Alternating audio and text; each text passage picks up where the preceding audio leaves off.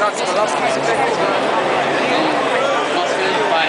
Quem, abriu para todos nós, não só para os pilotos, mas para o automobilismo.